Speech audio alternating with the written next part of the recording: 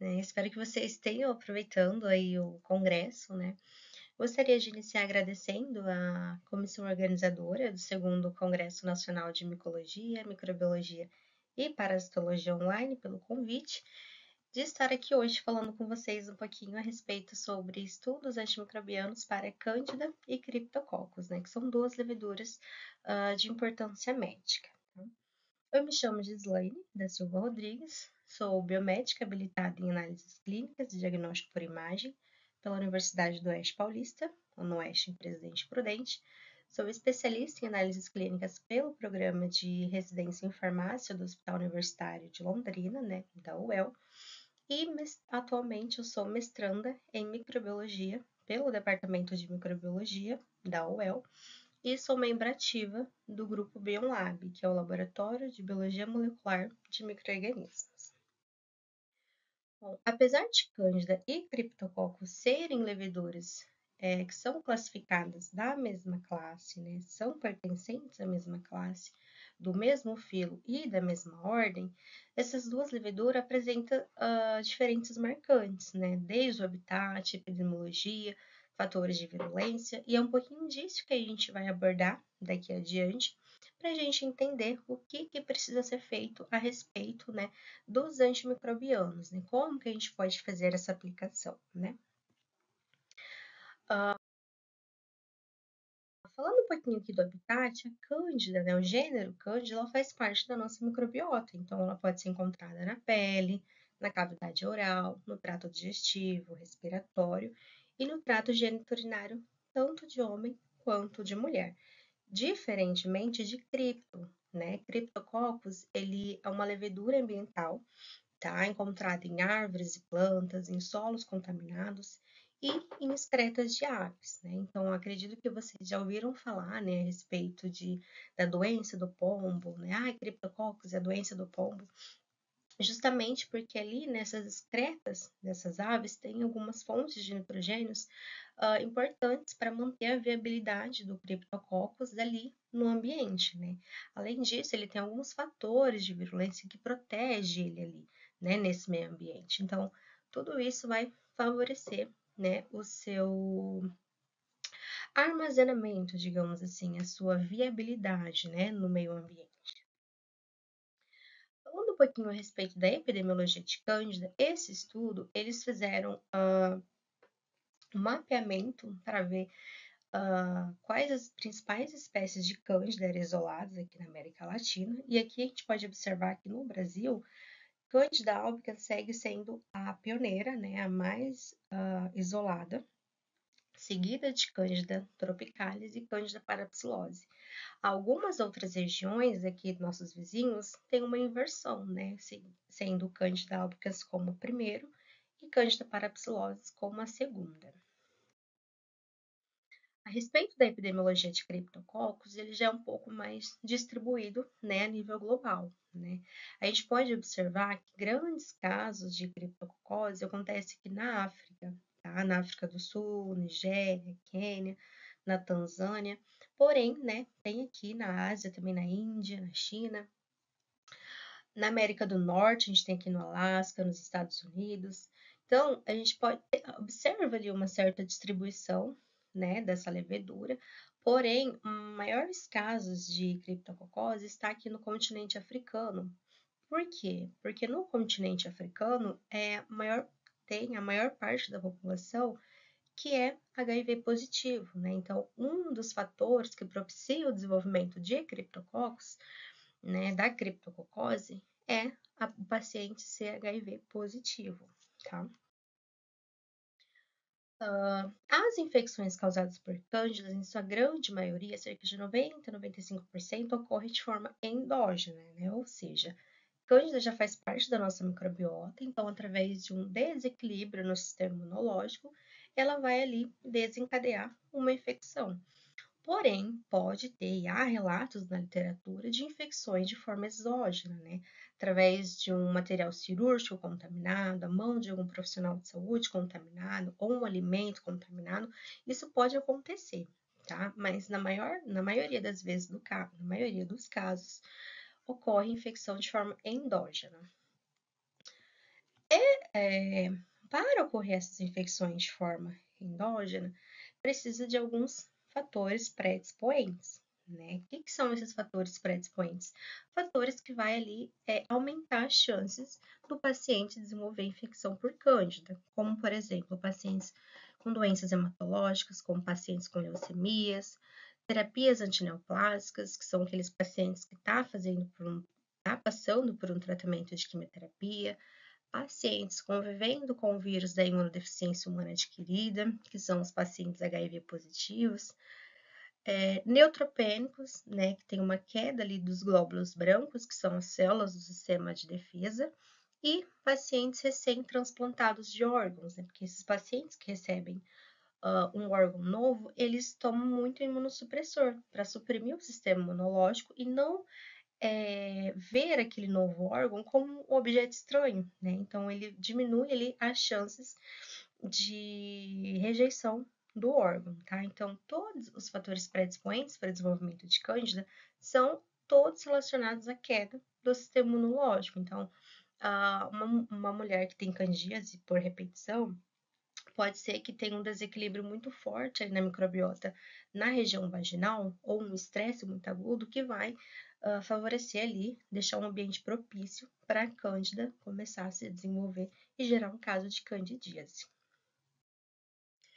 Uh, diferentemente de Cândida, o Cryptococcus, né, para ocorrer essa infecção por Cryptococcus, a gente precisa se contaminar ali com os poros fúngicos, né, com os fungos que estão ali dispersos no ambiente. Então, quando a gente faz a inalação dessa levedura, essa levedura vai lá para o interior do nosso pulmão. Quando ela chega no, no, pulmão, lá a gente tem células né, do sistema de defesa, como os macrófagos, e esses macrófagos vai realizar a fagocitose desses fungos. Porém, os macrófagos não conseguem é, fagocitar todos os fungos que é inalado. Então, como uma barreira, como uma tentativa de contenção, eles se organizam em volta do fungo, né, ao redor do fungo, que é o que a gente chama de granuloma, para tentar ali conter é, essa levedura. Então, essa levedura fica ali em estado latente, né? tanto contido dentro do granuloma quanto dentro do macrófago. Então, aqui, é, para é, esse Cryptococcus neoformans ficar em estado de latência, esse paciente HIV positivo está com o tratamento antirretroviral em dia, não está na fase A, está tudo certo. Porém, né, é, pode ser que esse mesmo paciente pare com o tratamento ou entre numa fase AIDS, né, uma fase, uma fase aguda, e aí que é uma queda brusca do sistema imunológico. Então, quando tem essa queda do sistema imunológico, é, o granuloma é desfeito, porque essas células de defesa precisam migrar para uma outra região, para um outro lugar do corpo, e é, esses fungos dentro do macrófago, eles começam a se multiplicar, né? Quando o macrófago faz essa fagocitose, eles vai tentar formar o, o fagolisossomo, que é para tentar eliminar esse fungo. Porém, o Cryptococcus neoformes, né, assim como o GAD, eles têm uma enzima chamada urease. Essa urease é importante nesse, nessa, nesse primeiro ponto, porque vai manter ali o pH estável, né, vai um pH que ele consiga sobreviver e ele vai continuar se multiplicando. Então, a urease é um fator de virulência importantíssimo, principalmente nesse primeiro, nesse primeiro momento, para manter o criptococcus viável dentro do macrófago. Quando uh, é, ele consegue né, manter esse equilíbrio, o criptococcus vai é, se multiplicar. Quando ele finaliza, atinge ali uma certa quantidade de fungo, esse criptococcus ele vai sair de dentro dessas células. E essa saída pode ser feita através de dois processos. Ou através da vomocitose, que é quando uh, a levedura sai do interior da célula, preservando as células, deixando as células íntegras, ou através da lise celular, que é quando a célula se rompe, né, liberando tudo todo o conteúdo do seu interior. Então, além das leveduras, é liberado tudo que tem dentro das células. Quando essa levedura cai né, na circulação, ela continua ali se proliferando, ela pode continuar se multiplicando, e algumas células, elas formam células titãs, que a gente chama, né? Que nada mais é do que o aumento da espessura da cápsula, né? A cápsula é um fator de proteção do sistema imunológico, então quando ela aumenta essa espessura, está protegendo ainda mais a levedura de fugir ali do sistema imunológico. Lembrando que esse processo de infecção, essa fase latente, é específico para quando o paciente vai se contaminar com espécies de neoformas.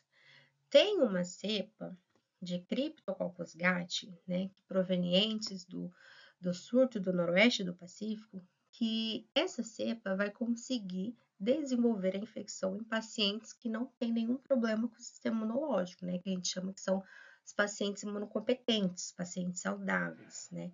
Então, quando esses pacientes se contaminam com essa cepa em específico, não tem esse período de latência, não tem formação desse granuloma, não tem essa tentativa de contenção, porque o paciente consegue desenvolver uh, a infecção, tá? Nessa cepa de Cryptococcus gat em específico. Uh, quando os fungos aqui caem na circulação, né, Cryptococcus neoformis, ele tem um tropismo para o sistema nervoso central, porque no sistema nervoso central tá lá as catecolaminas, né, que são todos os neurotransmissores que ele pode utilizar para formar ali uh, um outro fator de virulência, né, que são que a gente chama que é a melanina, né? Esses essas catecolaminas são precursores que vai facilitar ele de formar melanina. Quando o então, quando o criptococcus ele migra né, para o sistema nervoso central, ele consegue passar pela barreira hematocefálica através de três processos conhecidos. É, primeiro, ele pode passar através da paracitose, que nada mais é que através do auxílio da urease e da metaloprotease, é, essas enzimas vai afrouxar as, as ligações aderentes, né, dentre essas células, facilitando a passagem da levedura entre essas duas células. Então, a levedura consegue passar para o sistema uh, nervoso central aqui, né? Passa pela barreira hematocefálica. O segundo processo é através da transitose, que através da transitose, onde o ácido hialurônico presente ali na cápsula vai interagir com o receptor das nossas células, que é o CD44, e ao interagir, a nossa célula vai fagocitar esse fungo. E quando essa célula fagocita o fungo, o fungo depois consegue sair ali uh, também no sistema nervoso central, consegue passar aqui pela barreira hematoencefálica. E o terceiro mecanismo, né, que é muito denominado na literatura, é chamado de cavalo de Troia, que é quando o, a levedura passa pelo sistema, pela barreira hematocefálica dentro do, do monócito. Né? Então, o fungo está aqui, quando ele passar pela barreira hematocefálica, ele vai sair do monócito através da exocitose. Uh, entrando um pouquinho agora em fatores de virulência, esses fatores de virulência são características essenciais para o microorganismo para facilitar ele a desencadear a doença no hospedeiro, né? Ou seja, são características que vai auxiliar ele a desenvolver a doença. No caso de, de Cândida, a gente tem o dimorfismo, que é quando a cândida apresenta mais de uma forma, né? Então, tem ali forma de blastoconídeo, que é a célula mãe com a célula filha, depois é, essa levedura pode se alongar, formando hifas ou pseudohifas, tá? Tem o screening fenotípico também, que é quando a, a colônia dessa levedura passa de um branco mucoide para um branco opaco, né? Ele passa de um brilho para um opaco. As uh, cândidas, gêneros cândidos também têm exoenzimas, que é o que a gente chama de fosfolipase, protease, são enzimas que vai facilitar aqui a quebra também das junções aderentes ou de outras estruturas né, das células para facilitar a captura de nutrientes ou a invasão dessa levedura no tecido, tá? E aqui, por fim, a gente tem também a formação do biofilme, que também é uma estrutura de resistência, né? Também chamado de fator de virulência. Dentre os fatores de virulência, doença de criptococcus, a gente pode falar, né, pode denominar a cápsula, né, que é o espessamento que vai proteger o criptococcus do sistema imune, a melanina, que é esse pigmento marronzinho escuro, que no ambiente vai proteger essa levedura dos raios ultravioletas, e quando essa levedura está no interior, né, dentro do, do ser humano, essa melanina vai proteger uh, o fungo dos, das espécies reativas de oxigênio, né, liberado do nosso sistema imunológico. Então, aqui também é uma proteção né, do fungo contra o nosso sistema imunológico. Temos também a urease, que é uma enzima importantíssima para manter a viabilidade do fungo lá no primeiro momento da infecção, para manter ele viável dentro do macrófago, e depois, né, para facilitar também na passagem do Cryptococcus através da barreira hematoencefálica. E a gente tem também, assim como Cândida, é a formação do biofilme em criptococcus também como fator de virulência, né? Porque o biofilme é uma estrutura de resistência, né? Quando esses microorganismos formam biofilmes, uh, dificulta no tratamento, né? Não é todos antifúngicos que conseguem chegar ali para ter uma atividade uh, contra essa forma de vida, né? Então, gera ali uma, um aumento, né? uma certa resistência para um tratamento. Uh, entrando nisso, a gente tem os antimicrobianos, porque para a gente estudar o que, que, a gente pode mudar, a gente precisa saber o que, que já tem, né, para saber o que, a gente pode mudar. Então, antimicrobianos são substâncias né, naturais, sintéticas, semissintéticas, que podem inibir o crescimento ou matar o microorganismo. Então, podem ter atuação em fungo, em bactérias, em vírus, né, parasitas, dentre outros. E é importante a gente diferenciar inibir o crescimento de matar, porque quando uma substância inibe o crescimento, essa substância tem um efeito estático, né? Ou bacteristático ou fungistático, que nada mais é que paralisar o microorganismo naquele ciclo, na, na, do jeito que ele estiver.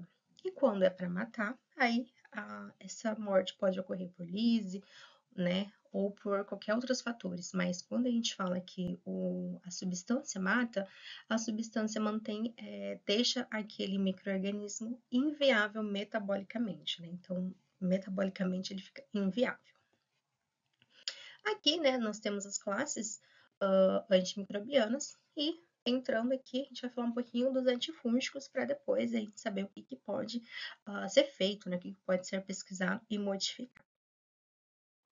Dentre os alvos principais aqui, né, dos antifúngicos que a gente vai falar aqui hoje, primeiro a gente vai falar dos que atuam na parede celular, essa estrutura aqui em verdinho é mais externamente ao fungo. Depois a gente vai abordar sobre os que atuam na membrana celular, né, que é logo depois da parede, e os que atuam em núcleo. Claro que tem Uh, além das classes que a gente vai abordar hoje, tem outros antifúngicos também, só que aí é para outras classes de fungos, é para fungos dermatófitos, fungos filamentosos, então a gente não vai abordar aqui, tá? Eu trouxe somente os principais para Cândida e Cryptococcus. Então, dividindo aqui, seria basicamente a classe que vai atuar na parede celular, no caso, as ecnocandinas, que é utilizado para o tratamento de cândida, tá? Não é aplicado para o tratamento de criptococose.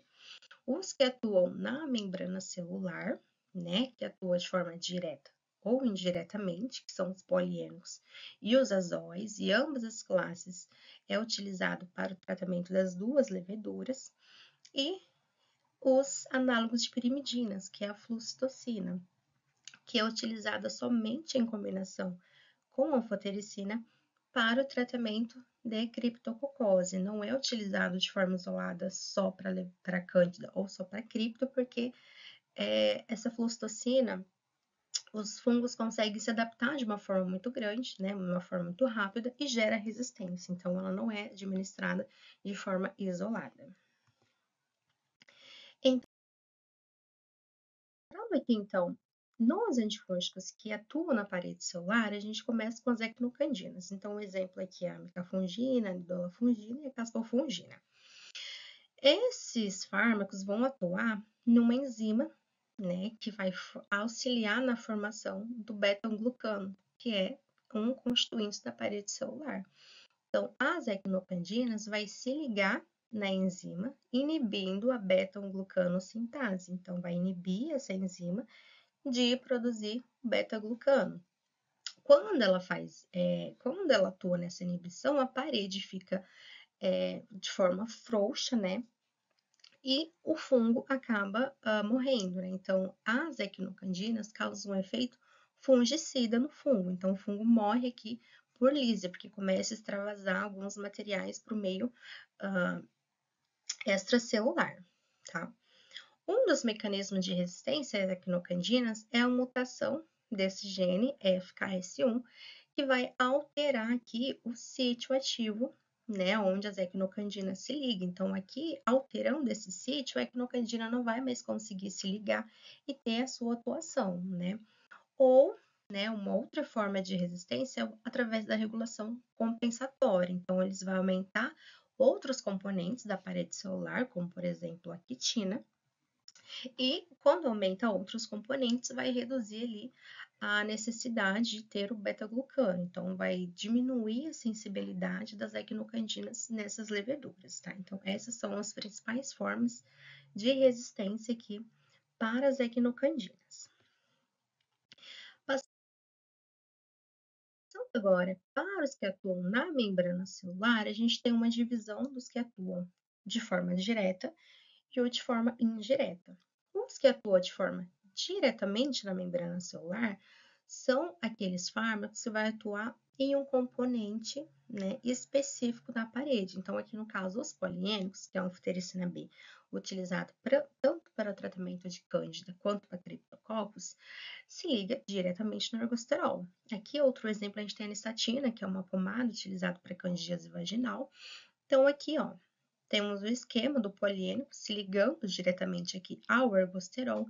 Quando ocorre essa ligação, é, esse poliênico faz com que tenha uma formação de poros né, na membrana. E através desses poros ocorre o extravasamento de alguns íons essenciais para o microorganismo, como sódio, potássio, cálcio e alguns peptídeos. Com esse extravasamento, leva a célula fúngica à morte, porque ela vai morrer por lise osmótica, né? Então, todo o conteúdo interno vai extravasar para o meio externo. Então, a célula. Uh, então, esse efeito né, do, dos poliênicos é um efeito fungicida, tá? Alguns dos mecanismos de resistência aos poliênicos é a alteração né, da composição do ergosterol, então vai é, gerar um esterol é, alternativo, onde os poliênicos não vai ter tanta afinidade assim, ou através da regulação da expressão gênica. Então, o gene responsável pela formação do ergosterol vai diminuir, né, a quantidade de formação do ergosterol, e quando tem ali a redução, a gente pode administrar uh, o antifúngico, só que não vai ter a quantidade suficiente, né, de locais para ele se aderir, então a gente não vai ter uma resposta terapêutica uh, que era esperado, né, devido à redução desse, desse esterol na membrana. Depois, dos poliênicos, os azóis, eles atuam de forma indireta, né, de forma indiretamente na membrana celular, porque eles atuam no processo, né, atuam inibindo parte do processo do produto final. Então, os poliênicos interagem aqui diretamente no produto que vai na membrana celular e o esterol, o, os azóis, como o fluconazol, ele vai inibir aqui uma dessa etapa dessa cascata de formação do ergosterol. O fluconazol, ele inibe aqui a C14-alfa desmetilase, que vai inibir a formação de lanosterol. Então, ele inibe a transformação do escaleno em lanosterol fazendo com que tenha um acúmulo de esteróis tóxicos nas células.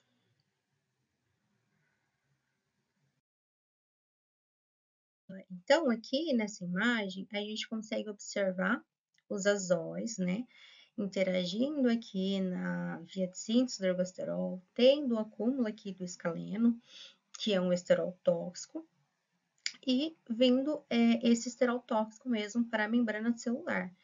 Nesse processo, a levedura não consegue continuar ali se multiplicando, tá? Mas é, também não tem um efeito fungicida, né? Os efeitos que os azóis causam nas leveduras é um efeito fungistático, que a levedura fica ali uh, estática, não consegue é, continuar se multiplicando, se proliferando, aumentando o seu tamanho, mas também é, não é um efeito ocida, né? Ela não morre, ela fica ali estática, tá? Um dos principais mecanismos de resistência aos azóis é através da expressão de bomba de fluxo, né? É, nessa imagem não tem, mas é, nessa membrana, na membrana, a gente tem algumas proteínas, né? Pode ser CDR, do tipo MDR, que vai, é, assim que o fármaco entra, né, nessa levedura, ele é expulso, ele é jogado para o exterior, né, para o exterior das células. Tem também, ocorre também a mutação da, é, da 14-alfa desmetilase, que é quando altera o seu sítio de ligação, então o fluconazol vai perder afinidade pelaquela enzima e ela vai continuar todo o processo normal, ou tendo uma superexpressão do gene ARG11, que é um gene responsável por essa enzima. Então, tendo uma superexpressão, vai ter muita enzima. Então, vai ter algumas enzimas que o fármaco vai conseguir se, se, se ligar, porém vai ter enzima suficiente para continuar toda a cascata da formação do ergosterol. Então, essas são as principais formas de resistência aos azóis, tá?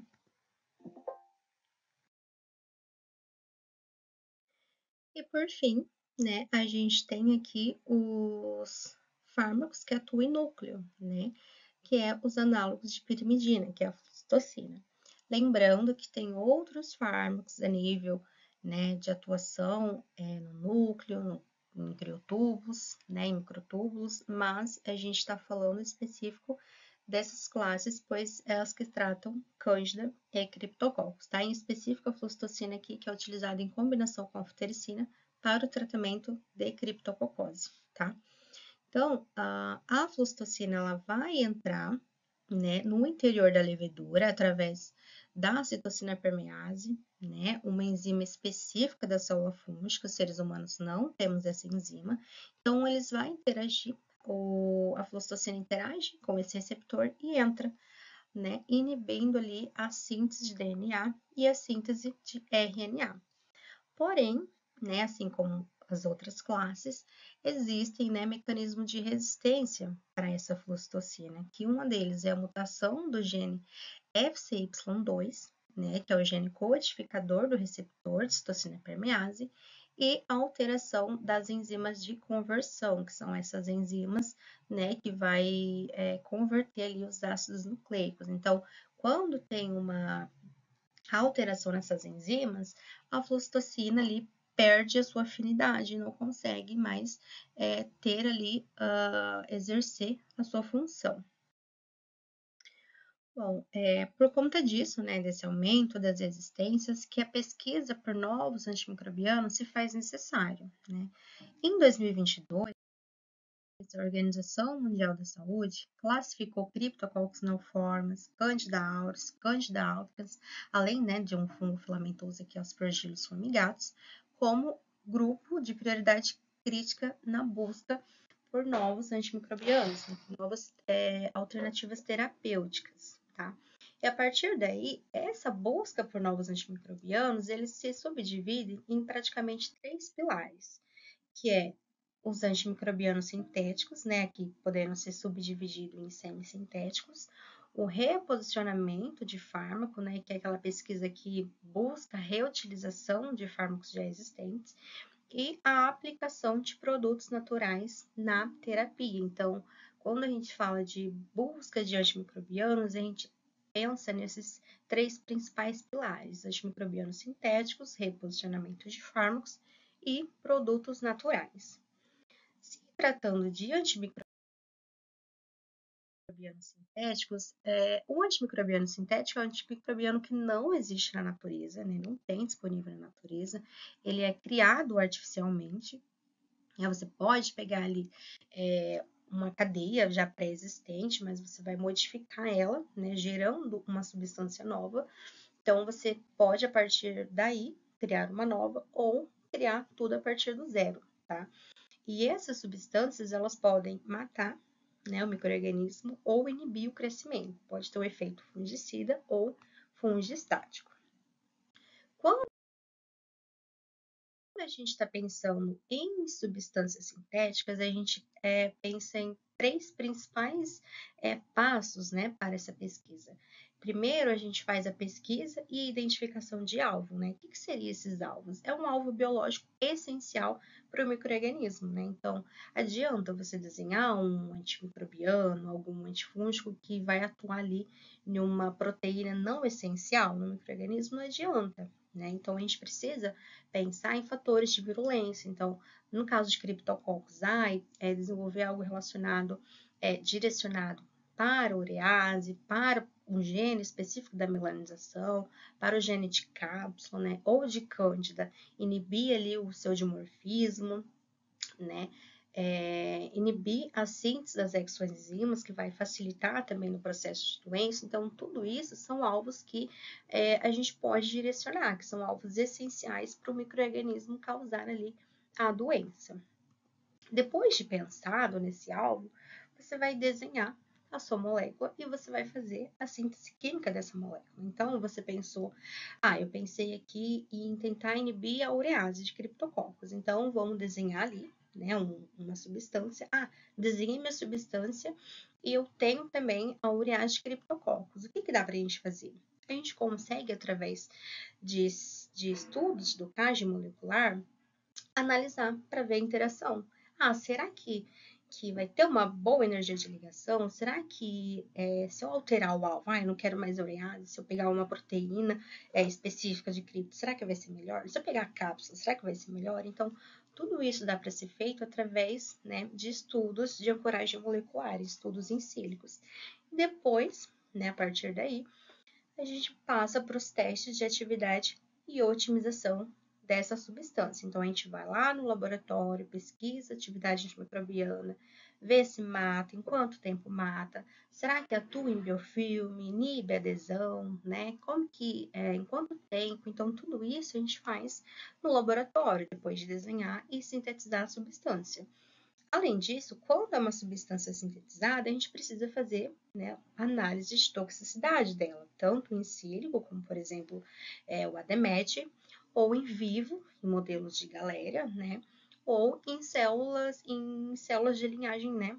Como LLCMK2, que é uma célula é, de linhagem renal, né? Ou alguma célula de fígado, isso pensando ali se você quer desenvolver alguma coisa sistêmica. Então, pensando onde que metaboliza e onde excreta, você faz ali uma, uma pesquisa de toxicidade. E depois a gente pode também ter a alteração da molécula, né? Então, você fez uma substância, né? Ou você sintetizou uma substância muito boa, uma atividade em muito pouco tempo, ótima no biofilme, ótima em todos os fatores de violência, porém ela é tóxica. O que que faz? Você pode fazer a alteração dessa molécula. Então, será que se eu tirar algum radical, adicionar um metil, tirar hidroxilo, será que se eu modificar a estrutura dessa molécula reduz a toxicidade? Então, isso volta lá para o virtual, né? Além disso, supondo que deu tudo certo, a substância foi ótima, não foi tóxica, mas ela é difícil de solubilizar, né? Ela é não é hidrossolúvel. Então, vamos tentar otimizar também essa molécula. Vamos fazer alterações ali na sua estrutura para fazer é, com que ela fique mais hidrossolúvel, mais fácil de trabalhar, tá? Então, tudo isso dá para ser feito.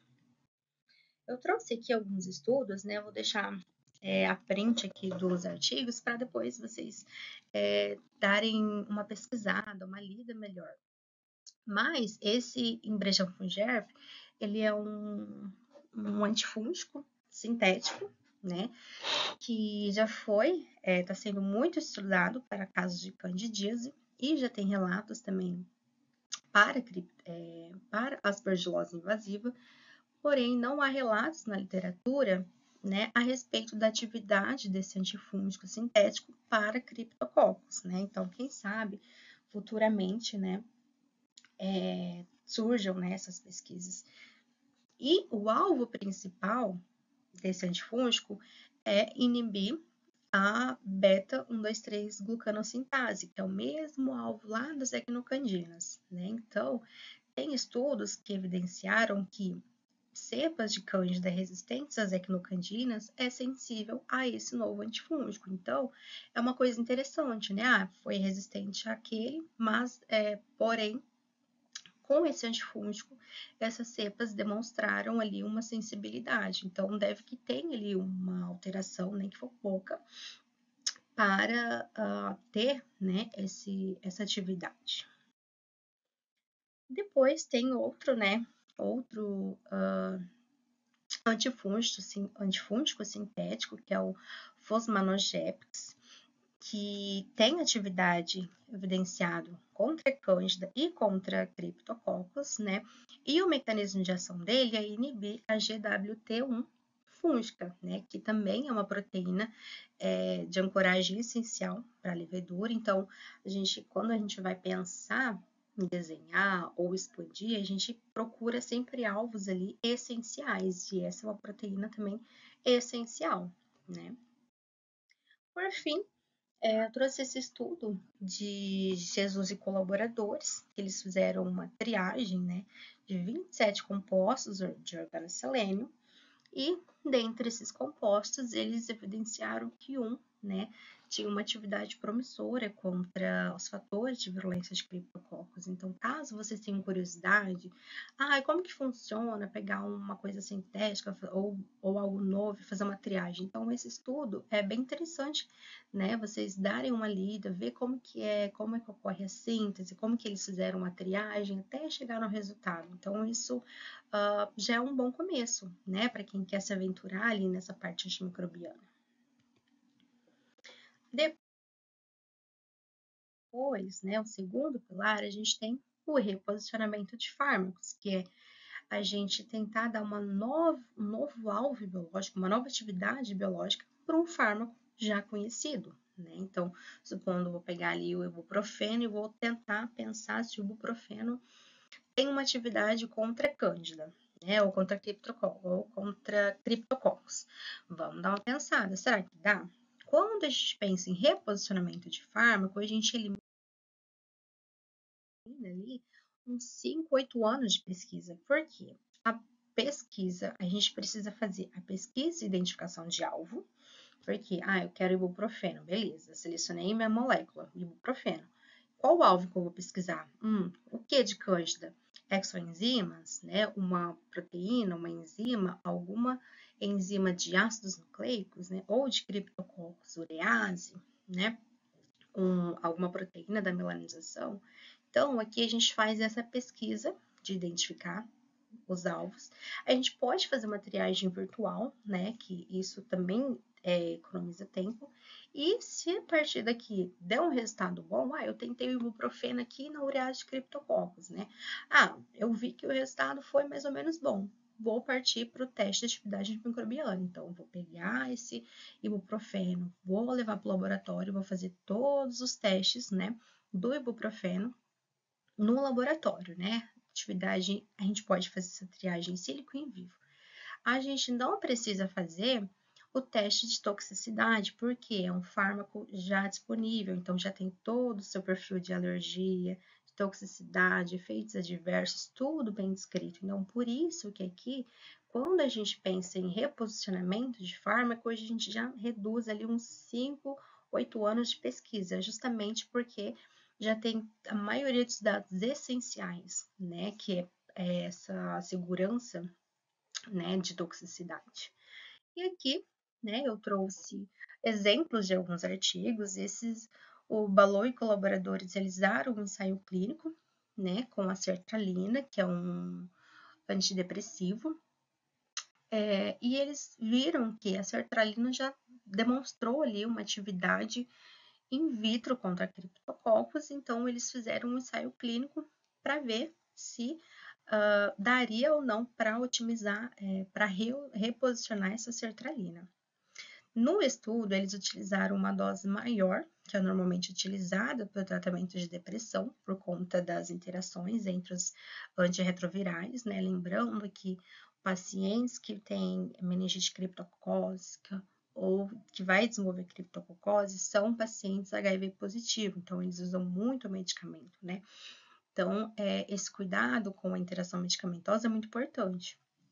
No final, eles evidenciaram que não valeu a pena, né? Porque o estudo foi interrompido porque os pacientes estavam apresentando efeitos adversos muito graves, como psicose, alucinações paranoicas. Então, esse estudo, eles tentaram ali é, redirecionar a sertralina, né, que é um medicamento que passa facilmente pela barreira hematocefálica, e isso é um dado importante de sempre ter em mente. Uma, um reposicionamento de fármaco para criptococose, a gente tem que pensar, será que esse fármaco passa pela barreira hematocefálica? Se passar, aí descobrir os novos, é, outras barreiras, né, a serem sanadas. Nesse caso, né, não justificou e não deu para fazer esse reposicionamento. Uh, aqui tem um outro exemplo, né, outro artigo de Ninguém Colaboradores, que eu vou deixar print aqui, né, depois vocês entram no, no artigo, dá uma lida, mas também era uma tentativa de reposicionar esse fármaco, tamoxifeno, mas não deu certo, né, a hipótese que, eles, que os pesquisadores tinham não foram comprovadas, então não foi justificada a continuação uh, dos estudos, tá? Aqui, né, nesse estudo, os pesquisadores, eu quis trazer para vocês, para vocês verem que não só de ensaio clínico, né, e tentativa já na prática ocorre, né? Aqui eles fizeram um rastreamento virtual de algumas moléculas e depois eles fizeram o teste in vitro, né, lá no laboratório. E eles observaram que a metilfosina foi capaz de inibir o crescimento de células de Candida auris em condições de crescimento planctônico são as células de vida livre, quanto para biofilme. Então, uma estrutura importante aqui, né, na resistência. Então, já é um indicativo que talvez essa metilfosina pode uh, continuar ali, né, por uma possível aplicação futura.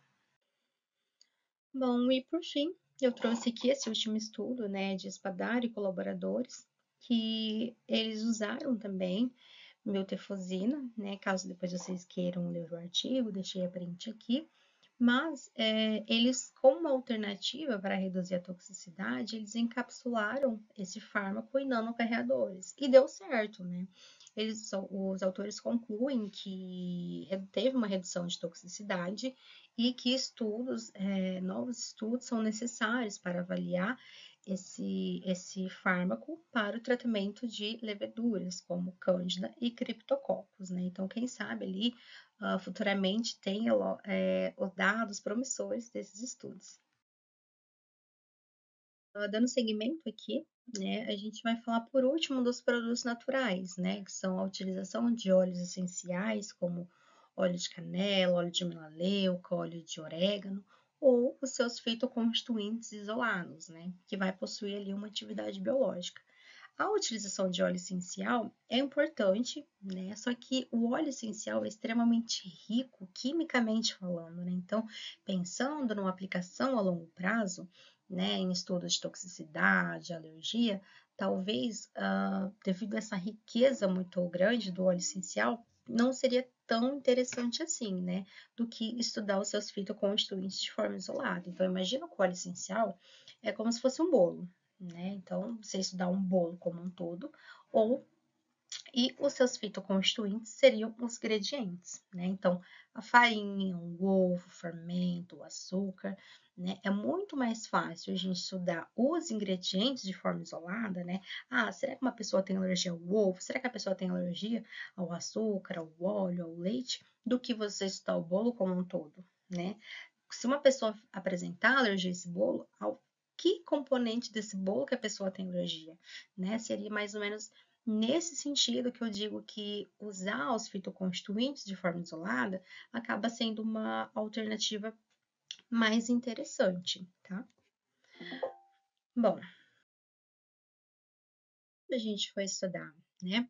Com produtos naturais, a gente também não vai fazer o desenho molecular nem síntese, porque esses produtos já estão ó, disponíveis, né?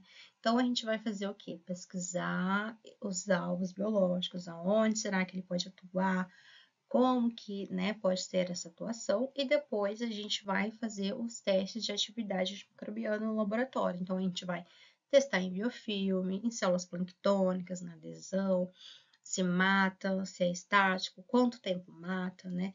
Se tratando de produtos naturais, a gente pode fazer a citotoxicidade em sílico, né, que é o ADMET, a gente pode fazer a citotoxicidade em vivo, em modelos de galéria, ou em células de linhagem também, né, células de linhagem renal ou do fígado, né, que é principalmente ali a via é, de transformação e eliminação uh, dos fármacos, tá? Bom, é, eu vou deixar aqui a print, esse é o resultado do meu mestrado. Eu trabalhei com geraniol, uma molécula natural.